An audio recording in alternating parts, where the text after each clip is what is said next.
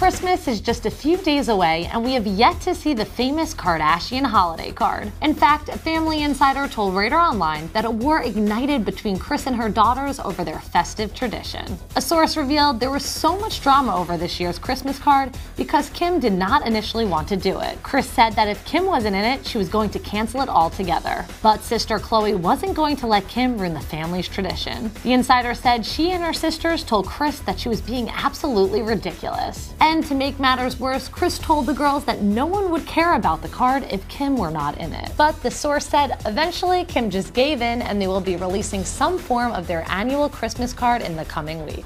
Do you think Kim must be in the Kardashian Christmas card? Tweet us at Star News or let us know in the comment section.